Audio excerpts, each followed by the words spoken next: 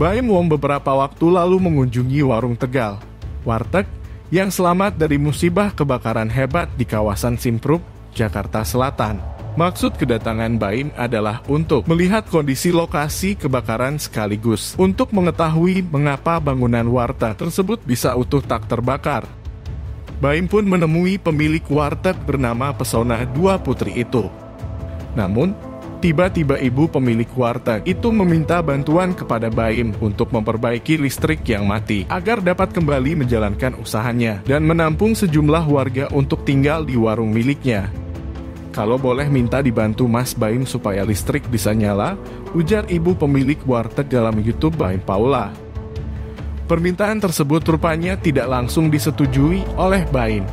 Ia berujar ingin mengutamakan korban lainnya yang rumahnya hancur terbakar si jago merah. Sekarang, kalau ibu mau dibantu, ibu paling beruntung. Apalagi mereka korban lainnya.